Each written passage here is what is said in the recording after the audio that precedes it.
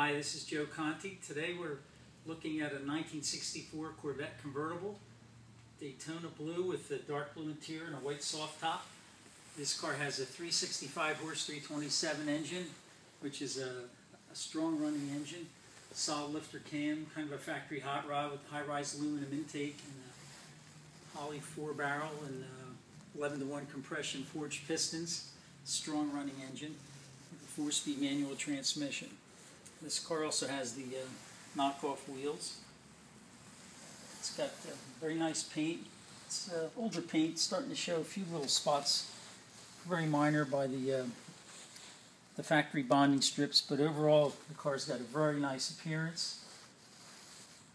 Chrome is still nice and bright, and all the emblems look good, as well as all the uh, stainless steel molding. All of the trim is correct correct 63, 64 style grill, and all the emblems are correct 64.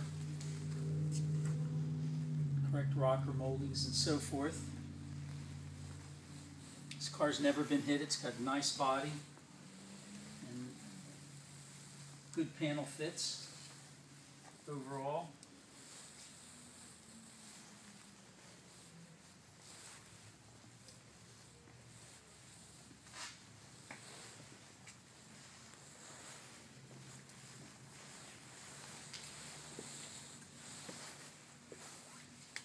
And the soft top is older, probably the same age as the paint, but uh, still in nice condition.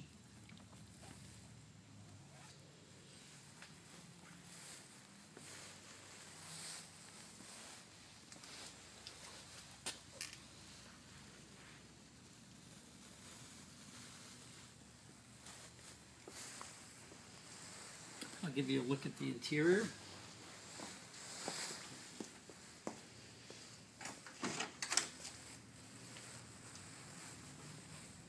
This Daytona blue outside with the dark blue inside, and the white top is a nice combination. The interior is very dark blue; it almost looks black under certain lighting.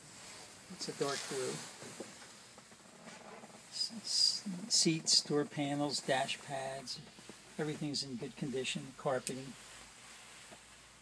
It's got all of its factory equipment, including the radio, shifter, walnut grain steering wheel, correct 64 only gauges and clock.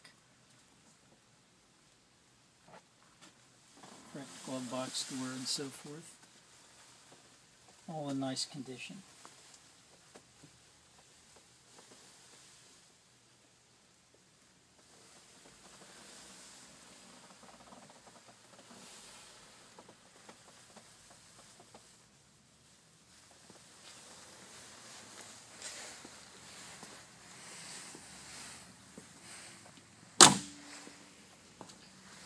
Next, we'll take a look at the engine compartment.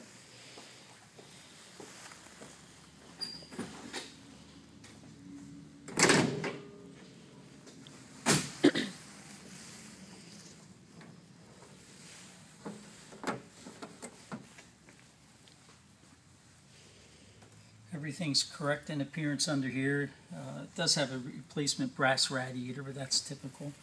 But other than that, it has a just about all of the correct hardware, including the ignition shielding and valve covers and intake and so forth. This car has power brakes. It did not offer power steering on the solid lifter cars in this year, so there's no power steering. This came with a larger oil pan and it wouldn't clear the one of the suspension members and that's why they didn't offer power steering with the solid lifter engines. This is basically a fuel injected motor without the fuel injected. Same cam, same head, same pistons.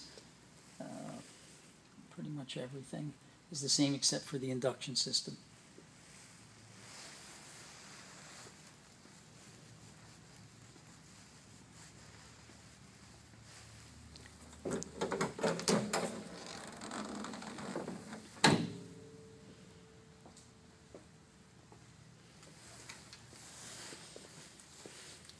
Overall, a very nice car. It would look good in your garage. Thanks for looking.